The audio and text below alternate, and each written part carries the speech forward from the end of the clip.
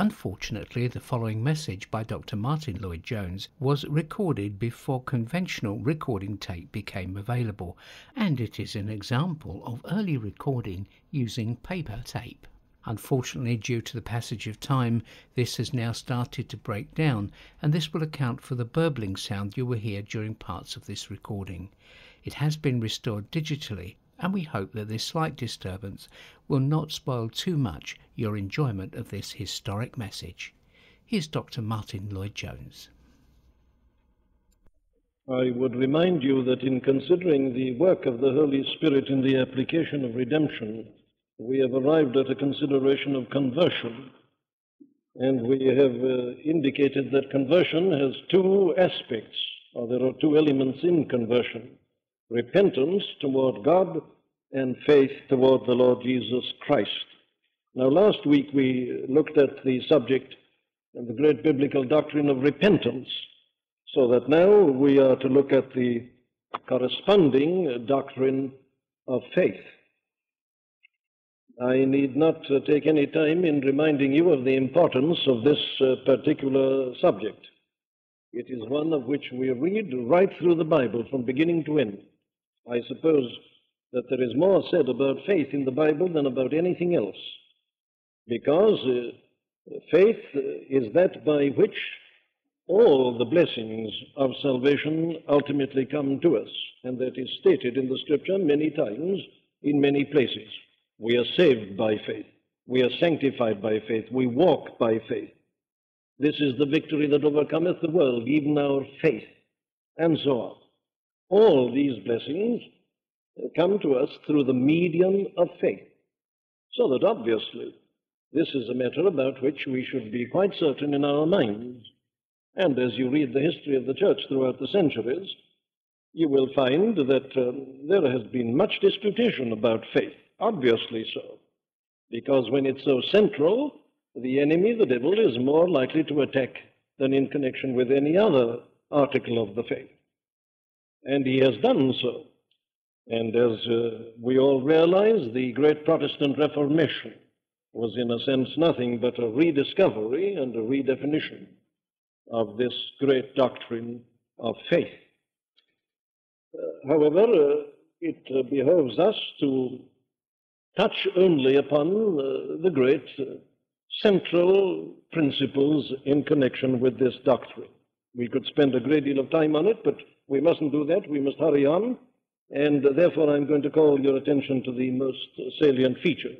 Faith is, after all, the instrument or the channel by which all salvation that is in Christ Jesus enters into us and we are enabled to appropriate it. It is the thing that links us to the fullness that dwells in our Lord and Savior Jesus Christ. That is faith in its essence. Now, I must indicate this that you will find as you read the Bible that the word faith is used to cover uh, a number of different terms. It has uh, several connotations. Uh, we are confining ourselves in this study to one only, and that is saving faith. Now, there are other uh, uses given to this word faith. Take, for instance, in the first epistle to the Corinthians in the 12th chapter you will find there a list of the spiritual gifts gifts of miracles, gifts of healing, and so on. And amongst them, you will find the gift of faith. Now, faith there doesn't mean saving faith. Obviously not. Because the apostle's whole argument in that chapter is that every Christian hasn't every one of these gifts of the Spirit. But some has one, uh, some have one gift, some have another. And amongst them is this gift of faith. Well, then it can't be saving faith because every Christian has saving faith.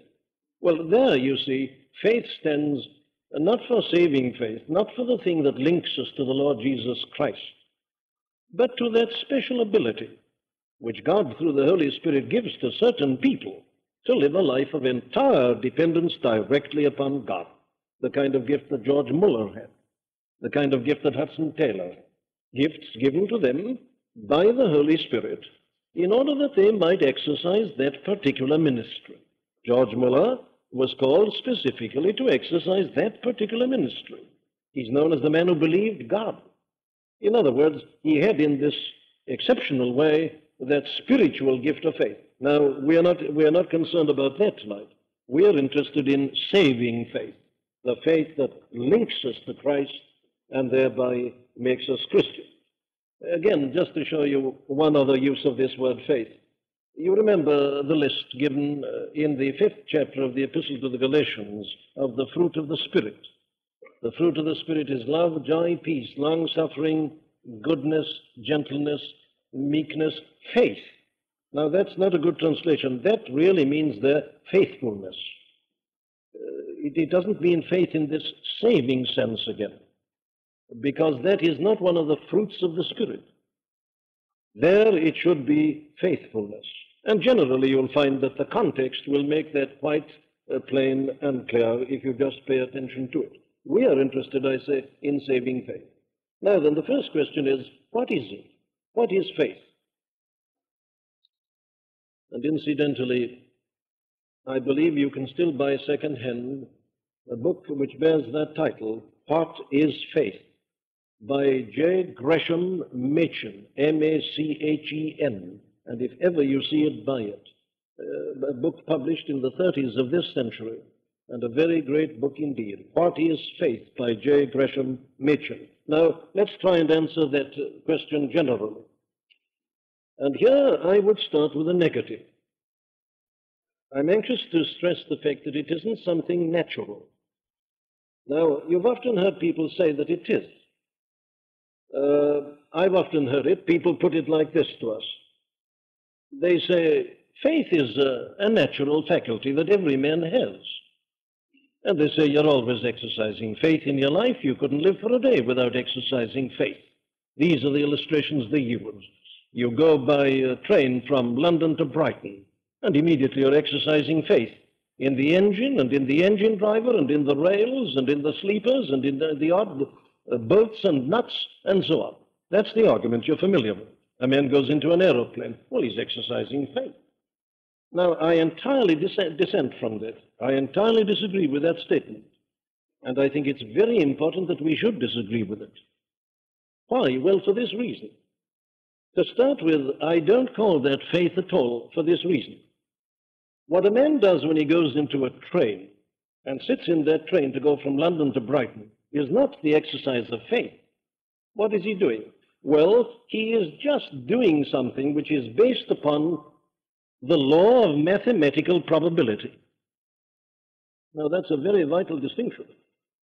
In other words, what this man is saying, either consciously or unconsciously to himself, is this the chances are that this train will go from here to Brighton without an accident. That is the mathematical probability. I know there's an occasional railway accident, but they don't happen every day. They don't happen every time the train runs. The law of mathematical probability tells me that the chances are that probably this train will take me without an accident to Brighton. Now, that's not faith. That's not faith at all. That is simply putting into operation the law of mathematical probability. Or if you don't like it like that, let's put it like this. What that man does as he sits in the train is he is acting on the general experience of men and women who travel in trains. He sees others doing the same thing. He knows that they're doing it every day. The experience of mankind teaches us that on the whole, it's a safe thing to go like that on a journey in a train. The general experience of mankind brings us to that. Or, if you like, what the man is doing is he is acting upon an argument which is based upon general observation of certain facts.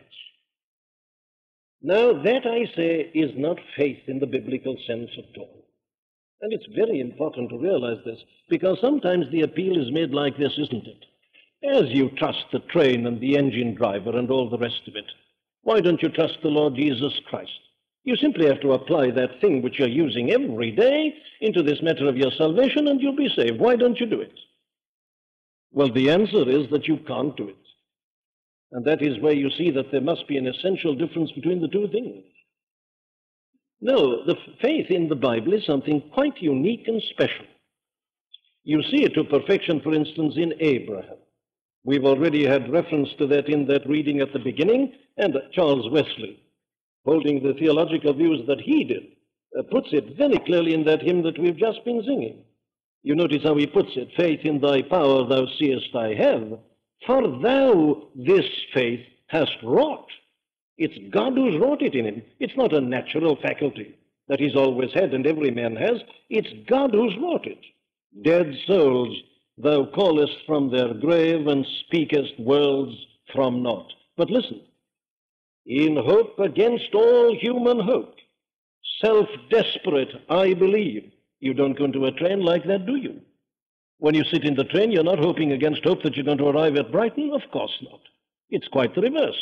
You know the chances are, I don't know what the figure is, but probably millions to one that you will arrive in Brighton. You're not hoping against hope. But when Abram believed God, he was hoping against hope. He wasn't working on the law of mathematical probability. He was 99, and you remember the age of Sarah. Everything was against it. All human experience was against it. The law of mathematical probability was dead against it. Observations of life all against it, reason against it, hoped against hope. But he became the father of the faithful.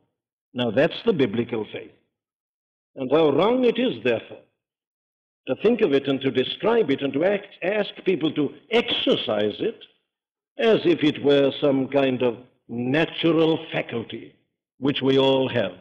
We haven't. Charles Wesley, I say, there puts it very perfectly when he tells us that it is something that is wrought by God. In other words, that brings me to my second point. What is the origin of faith? And the answer is it is the gift of God. And again, you see the importance of taking doctrines in the right order. How important it is we should have taken regeneration and so on before coming to faith. This again is the gift of God. Now, here we come to a controversial point. Take the statement in Ephesians 2 8. By grace are ye saved through faith, and that not of yourselves, it is the gift of God. Now, there are people who say the, the whole question is what does that that mean? By grace are ye saved through faith, and that not of yourselves. What's the that? What's it refer to? There are those who would uh, have us believe that it's a reference to the salvation.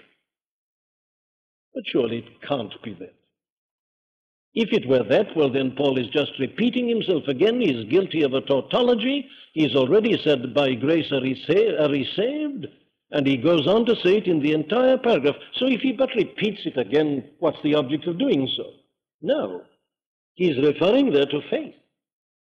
By grace are ye saved, he repeats, he's already said it and elaborated it, comes back to it. By grace are ye saved through faith, and that, the faith as well, not of yourselves. It is the gift of God, not of works, lest any man should boast. Yes, faith is the gift of God. And uh, this, of course, can be proved quite easily by the previous doctrines that we've already considered. I take you back again to the first epistle to the Corinthians and the second chapter, and all that we've seen about the natural men, to whom the things of God are foolishness, or the eighth of Romans, where the natural mind is described as being enmity against God. Such a man, of course, cannot exercise faith, as we've seen. In other words, the seed of faith is placed in us in regeneration. All the possibilities are put into us in regeneration, and amongst them is this seed of faith that is going to be called into activity by the effectual call. Or let us look at it like this to prove the same point from a different angle. Faith ultimately is governed by what we called a few weeks ago our disposition. It is a man's fundamental disposition that determines whether he has faith or not. Now listen to the author of the epistle to the Hebrews saying that in Hebrews 3:12. He talks about there an evil heart of unbelief. You see, that's it. Faith isn't an intellectual matter only, as we shall see in a moment. It's a man's disposition. If you've got an evil heart, well, then you'll be an unbeliever. It's a fundamental disposition in men that determines whether he has faith or not. Or listen to the Lord himself saying it. You'll find it in John 5:44. How can ye believe, which receive honor one of another, and seek not the honor that cometh from God only? You people can't believe, our Lord. Your whole disposition is wrong. You are seeking honor one from another, and while you do that, you'll never really have faith and you'll never believe. How can you believe? And then he repeats it. Why will he not believe? Same thing again. It's their disposition that is wrong. In, in other words, this is ultimately a moral question. It is something that concerns one's whole moral being so that we must cease to think of it as a kind of natural faculty that can be turned in the direction of God as in the direction of a railway engine or anything else. No, no, the two things are entirely different. And this is something which is wrought in us, as Charles Wesley puts it, by God Himself. It is the gift of God. Now then, how exactly does it come into being? What is it that brings it forth? And here is another very important point. And the answer is that it is brought forth by the Scripture, by the Word of God. It is by the truth that it comes forth. Now, there are innumerable proofs of that. Take, for instance, the Great Commission that our Lord gave to his disciples at the end after his resurrection, just as he was bidding them farewell. Go ye, he said, into all the world and teach all nations. Disciple them, if you like, same thing. Teach them. Give them the information. Preach the word to them. Hold the truth before them. That's it. Take the commission given to Paul on the road to Damascus. Our Lord told him that He'd called him, He was going to send him to the people and to the Gentiles. What for? Well, to open their eyes. Same thing again. He was to teach them. He was to show them their bondage to Satan and the terrible fate that was awaiting.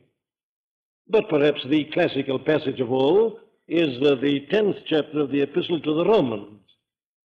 And let me read to you verses uh, 10 to 17. We needn't go back perhaps quite as far as 10. Oh, yes, let's start at verse 10. For with the heart man believeth unto righteousness, and with the mouth confession is made unto salvation. Uh, for the scripture says, Whosoever believeth on him shall not be ashamed.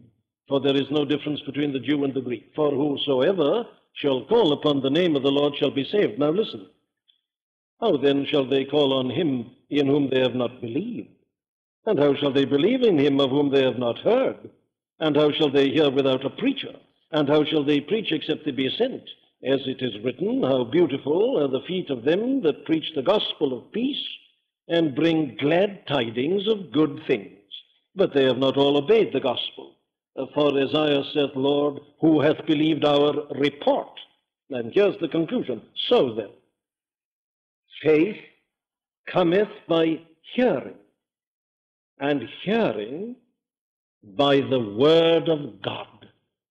Now, that is the way in which faith comes into being and into operation. It is called forth by the word of God, by the truth, by the gospel, by the message preached. And so Paul exhorts Timothy, preach the word. And it's the same everywhere right through the scriptures. And James 1.18 reminds us in the same way of his own will beget he us by the word of truth. It's always by the word. Very well. That enables us now to go on to ask another very important question. What are the elements in faith? On what does it consist? We are now ceasing to look at it in general. We are beginning to analyze it in particular. The first thing, obviously, as these quotations have established, is it includes belief. You can't have faith without believing. The very word means that. It means an assent to truth an assent to the word of God that has been put before us, that has been preached to us, that has been brought to us. Assent to truth. Yes, but you notice that in this 11th of Hebrews, it isn't a mere sort of uh, vague, general, cursory assent. You notice his use of the word persuaded. Very important word that, because it does bring out the point. These people, he tells us, they died in faith, not having received the promises, but having seen them afar off and were persuaded of them. That's in the 13th verse. That's the most important word. In other words, they were convinced of these things. So when I say that faith means belief, it doesn't only mean an awareness of truth or an assent to the truth, it means a firm conviction. We're convinced by it, we are persuaded of it. Yes, but it doesn't stop at that. And this is a most important point. Because there are some people who would define faith as just believing, giving an assent to the truth.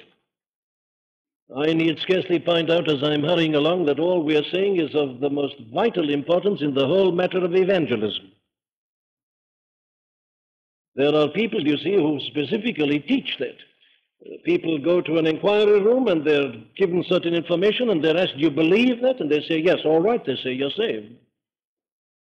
Assent to truth is regarded by some as being the whole of faith, but it isn't. Faith also includes an element of trust, an element of confidence, a readiness to commit oneself to it. There it is again in that very 13th verse of that 11th of Hebrews. They died in faith, not having received the promises, but having seen them afar off, were persuaded of them, and they embraced and confessed that they were strangers and pilgrims in the earth. There is inevitably in faith an element of trust. And I've come across large numbers of tragedies in the spiritual life because people had stopped at the element of belief only and hadn't realized the vital importance of trust. But it's a part of faith. And indeed, we must go one step further. Faith does include an element of committal. You not only believe these things and trust to them, but you commit yourself. They confessed that they were strangers and pilgrims on the earth. Or, as this 10th of Hebrews puts it, they call upon God. They believe it so much, they trust it so much, that they call out upon God. Whosoever shall call on the name of the Lord shall be saved. How then shall they call on him in whom they have not believed? Belief leads to the calling upon God, the trusting to God, the committing of oneself entirely to him. Now, it's very important to draw this distinction for this reason. There is, you know, such a thing as intellectual assent to truth only, and that is not faith. It is sometimes also called historical faith. And what it means is this. Unless I've known people who've been in this position. I'm not sure that I, heaven to say, if I were quite honest, that I've been once in that position myself of confusing between historical faith and faith. Historical faith means this that perhaps because you were brought up in a religious atmosphere and were always taught the Bible when you were young, you went to Sunday school or to some classes and so on, and you've always heard these things preached, you've accepted all this intellectual.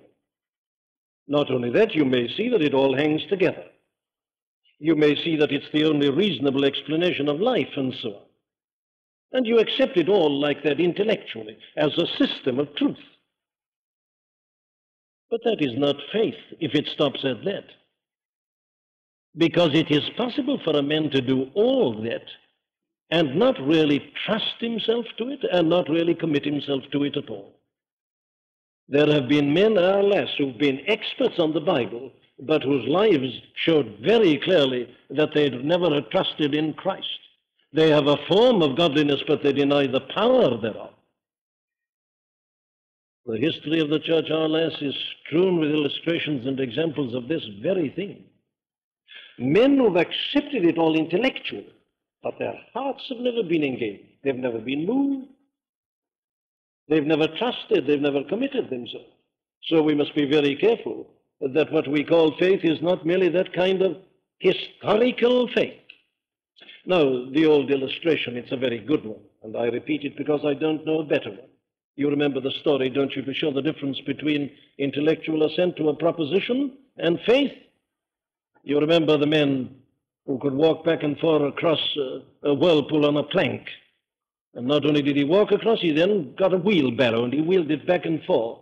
And there was a little boy standing by the side of the, of the river, and the men said to him, Do you think I can go again and come back safely without dropping? Yes, said the little boy. Well, jump inside. Oh, no, said the boy. Well, that's it. It's quite simple, but it does put it up to a point. There is in faith something beyond this intellectual agreement. There is this trust, this committal. It isn't merely a matter of belief. Very well, I can emphasize that by putting it in this way. I'll ask another question. What is it in men that is involved in the exercise of faith? What is it in me that comes into operation in my faith? Here again is a most important question. Again, because of that historical faith, and again, because of what the Bible itself describes as temporary faith. You remember the people we referred to last week? The seed uh, drops down and it springs up at once. The people who hear the word and anon and believe it with joy. But they had no root and they withered away later on. And the people in the sixth of Hebrews, there is your temporary faith.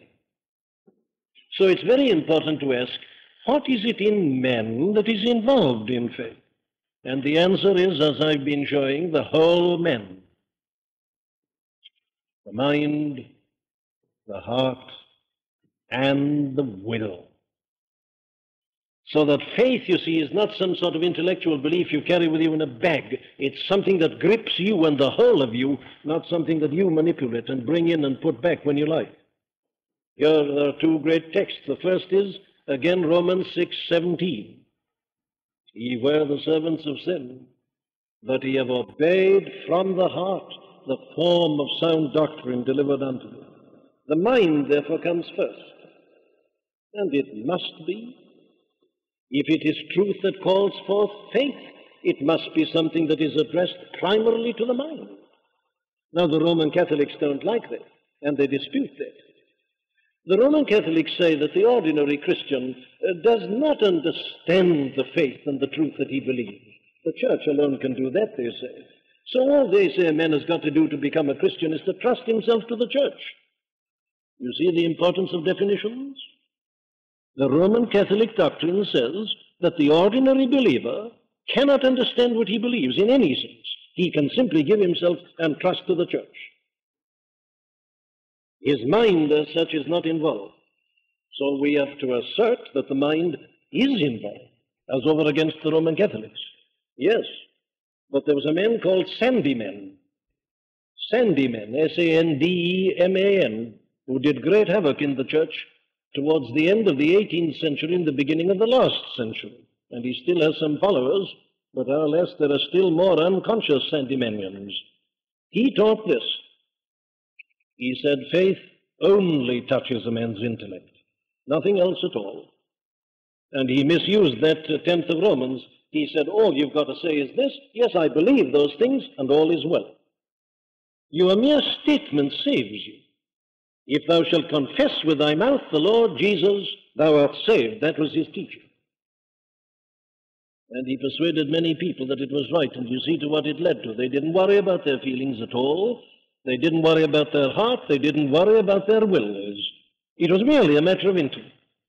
And there were many who were held and led into bondage by that teacher. So over against Sandeman, we say, yes, faith is something that involves the mind and the intellect, but it doesn't stop at that. It also involves the heart. And it must do so. Here I turn to the Apostle Peter, first epistle, second chapter, seventh verse. Unto you, therefore, which believe, he is precious. You notice the therefore? Unto you, therefore, which believe, he is precious. You can't believe in him without being moved by him. There is no value in what you call belief unless it leads to love. If you don't love the Lord Jesus Christ, you've got nothing but an intellectual assent to propositions concerning him. It follows as the night follows the day, says Peter, that if you really believe in him, he's precious to you and you love him. And it's obviously the case. If a man really does know the Lord Jesus Christ and believe in him, he's bound to be moved by that. His affections must be engaged.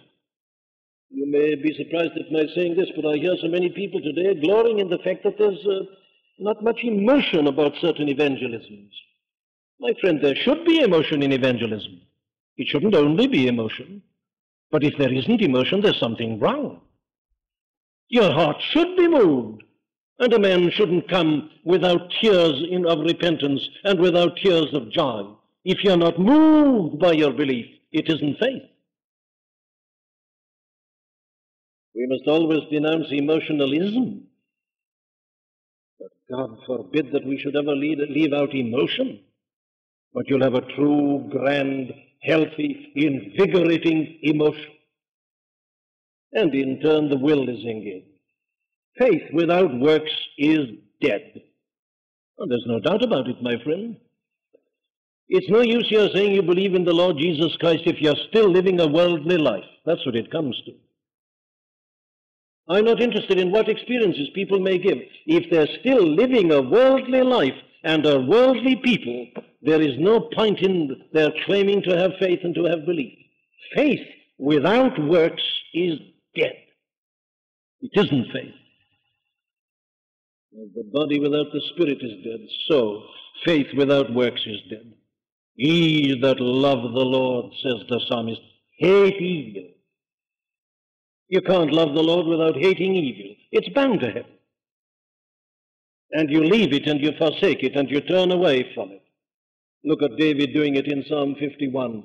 Look at him doing it in Psalm 139. Look at it everywhere in the Bible. And these men in the 11th of Hebrews, when Abraham believed that word, he left his country. He didn't know where he was going. He left that and he went, not knowing whither he went. Faith acts. The will is always involved. And if your will hasn't been involved, it matters not that you say, ah, yes, I believe that, I've accepted that. In other words, my friend, the thing that needs to be emphasized today is that faith is not a sort of believism. I think it's one of the greatest dangers in most countries at the present time to regard a kind of believism as faith. And in that believism, you see, the heart isn't involved and the will isn't engaged. But in faith, the whole man is engaged. Christ saves the whole man, and there is no part left out. So you see that corresponding to the belief and the trust and the committal is the intellect and the heart and the will. Very well. There is our essential definition of faith. Now there are certain problems left. And I've got to deal with them because they're so often raised in discussions and because people so frequently ask questions about them. Let us look at some of these problems. First of all, what is the relationship between faith and reason? Faith and reason. Best answer I can give is this, is to say that faith is not a matter of reason. You know, there are people who are teaching that today. There's been a very popular religious writer. He's not so popular now as he was until three years ago, but his popularity began about 14 years ago. The discerning will know to whom I'm referring. Who doesn't hesitate to say that if a man reasons truly, he is bound to become a Christian. He can reason himself into Christianity. But that is thoroughly unscriptural. He cannot. It isn't a matter of reason because the natural man, man's reason is fallen as well as the rest of him. He's incapable of that. Not only that, there are supernatural and miraculous elements in faith which reason cannot attain unto. So it isn't entirely a matter of reason. Indeed, I would quote again to you the great statement of the great Blaise Pascal, perhaps the greatest mathematician that the world has ever known, he said the supreme achievement of reason is to teach us that there is an end to reason. It's a great statement, that. That man had an evangelical conversion, unlike the modern writer to whom I've referred, who says he has not had an evangelical conversion. But Pascal had an evangelical conversion. And that is what he said. The supreme achievement of faith is to bring us to the realization that there is a limit to faith. In other words, what's it mean? Well, faith is not mere reason, But on the other hand, it isn't contrary to reason. It isn't unreasonable. It isn't irrational. That's the charge that's brought against us. Oh, they say, but what you are teaching is a kind of irrationality. You say it isn't a matter of reason. Well, very well then, is it opposed to reason? No, it isn't. It isn't reason, it isn't contra reason. What is it then? Supra reason. Supra. It means this, if you like. That our reason brings us to this point when we realize that reason is not enough. And there we have nothing to do but to submit ourselves to this revelation. And that is faith. Faith is accepting this revelation. I like to think of it more and more like this. Faith means that I deliberately shut myself down to this book. I refuse to philosophize. I refuse to ask certain questions. People are always asking them. They want to understand the doctrine of the Trinity. You can't. You've just got to accept it. You'll never understand it. Your mind and reason can't grasp it. It's too great. It's too divine. It's too eternal. So, you see, you accept it and you stop asking questions. One of the best uh, signs of the real birth of faith in people is that they stop asking certain questions. Think of faith more like that, it'll help you. You shut yourself entirely to this book. You come to it as a little child and you accept it. And then you begin to find that it's most reasonable. Reason couldn't bring you into it, but once you're in it, you'll find it's most reasonable. It all hangs together. It's a great composite whole. There's the one message running right through. The parts are all there. They all fit together like a perfect mosaic. It's the most reasonable thing in the world, and yet reason will never bring you into it. Faith brings you into it. And then you see the great reasonableness of it all. For Christ is not only the power of God, He is the wisdom of God. And when you're in it, you see that this alone is wisdom, and how everything else would be unfair and unreasonable. Oh, I've put it like this so many times from this pulpit, let me say it again. If faith were a matter of reason, well, then only people with great intellects could be Christians.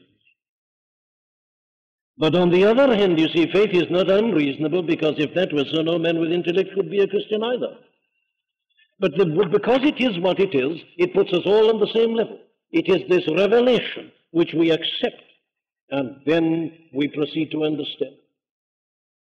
Very well, that's the relationship between faith and reason. What about faith and knowledge? This again is the most important point. The relationship between faith and knowledge. Now, here, let me put it like this. There must be an element of knowledge in faith because faith is something that comes into being as the result of the operation of truth. So that it follows of necessity, doesn't it, that we must know what we believe? If the first element in faith is belief, and if it is belief of the truth, we must know what we believe.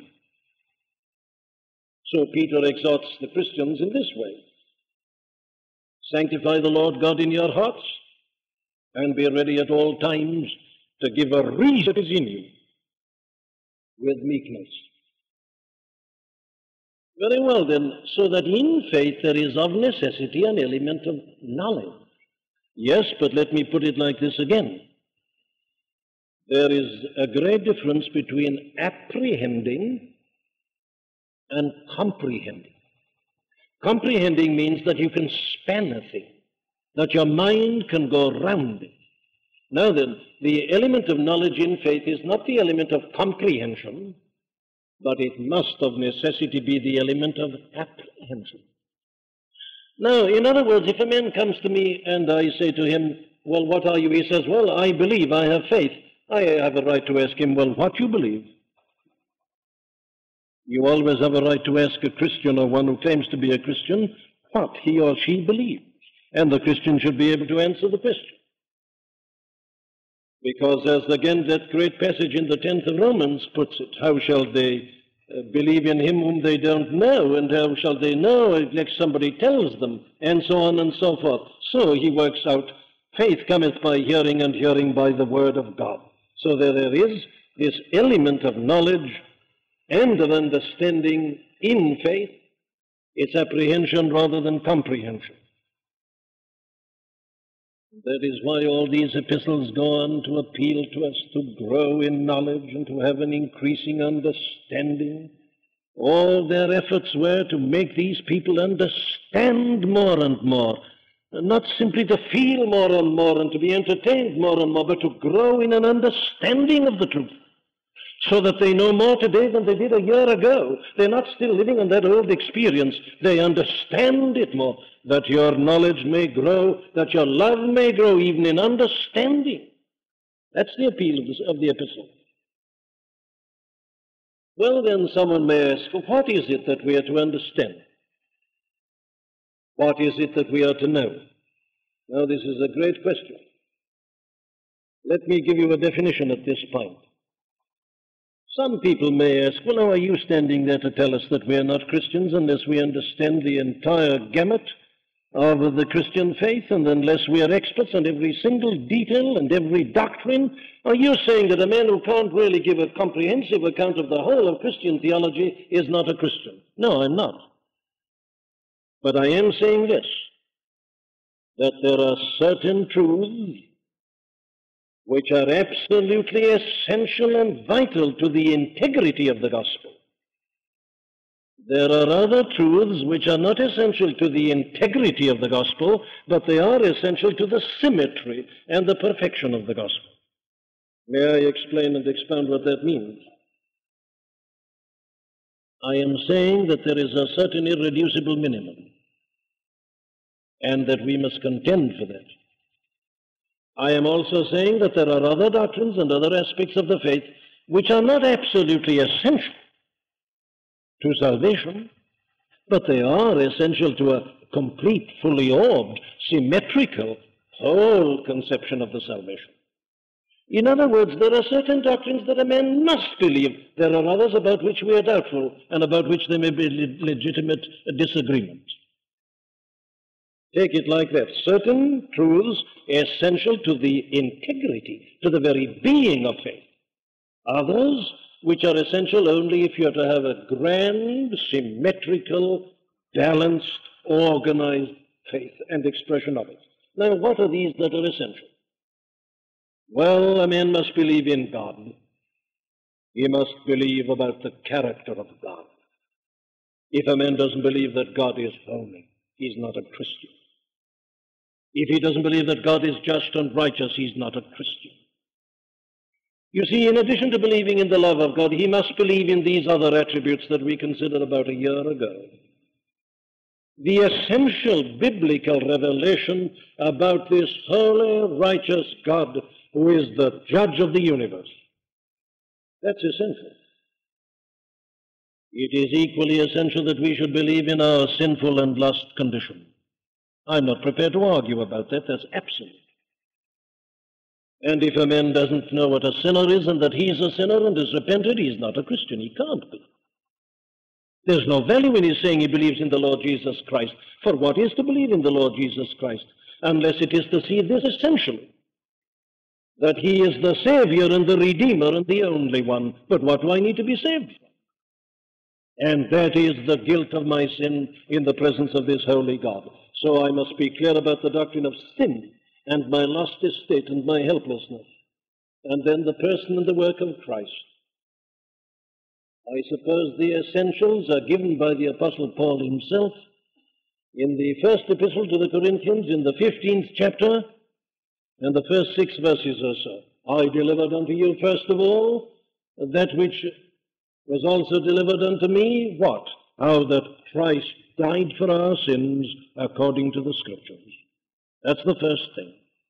The person and what he's done, the priestly work, the mediatorial work, the atonement. My friends, I don't argue about this. I know I'm described as narrow. But if a man doesn't see that he's saved only by the blood of Christ, well, think what you like of me. I can't see that such a man can be a Christian. It's essential. I determined not to know anything among you save Jesus Christ and Him crucified. He placarded His death to the Galatians, it was always at the center. This is not a matter to be argued about. This doesn't belong to the symmetry of faith. This belongs to the integrity of faith. And likewise, some aspects of this great doctrine of the person and work of the Holy Spirit that we're engaged upon at the present time. If you don't believe in regeneration, if you don't see its utter absolute necessity, I don't see you have any right to regard yourself as a Christian. If a man doesn't see that he's so lost, that nothing but his receiving new life from God can reconcile him and take him to heaven, I say such a man is lacking at a vital point and something that is integral belongs to the very integrity of faith. There are probably others. For myself, I'm content with those. But those, I say, are absolute necessities. And as we are discussing the relationship between faith and knowledge, I would say that you have a right to insist upon the presence of those things before you're prepared to tell a person, yes, you've got faith. Faith isn't a vague feeling. Faith isn't a vague desire to have certain blessings from Christ. Faith is a belief of this gospel, this word of God, this message, this thing that these apostles were preaching, the thing they're right about. And it is an acceptance, a belief of that, an assent to that, persuasion of that, that moves me and makes me do something. That's faith. And I must know what I believe and whom I believe and what I believe concerning him. And those are the things that seem to me to be the irreducible minimum, the bare essential, the things that belong to the very integrity of faith. Well, our time is more than gone. I apologize. I still have left to consider the relationship between faith and assurance, and God willing, we'll proceed to consider that next Friday evening.